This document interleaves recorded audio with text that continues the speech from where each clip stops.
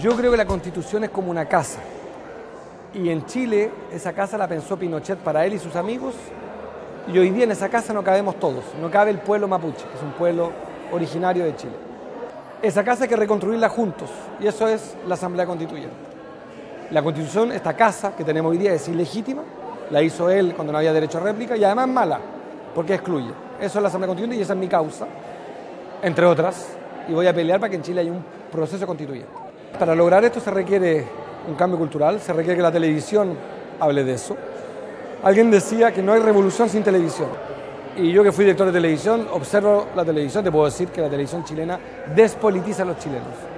Y hay que repolitizar, significa darle estatus a la política en el prime time, no el domingo a las 9 de la mañana. Creo que ahí hay una discusión que es muy práctica y que la Asamblea Constituyente va a ser una causa masiva, mayoría, cuando la televisión abra eso. Sin eso va a ser muy difícil. Ojalá lo podamos hacer por el lado, lo vamos a intentar.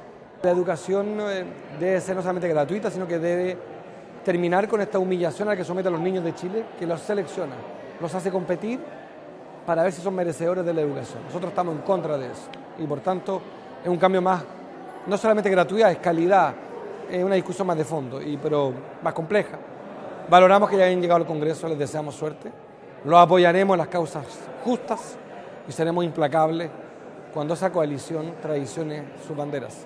Nosotros planteamos la necesidad de una constitución legítima, de un proceso constituyente y de un proceso de revocación de las leyes de amnistías que hay en Chile.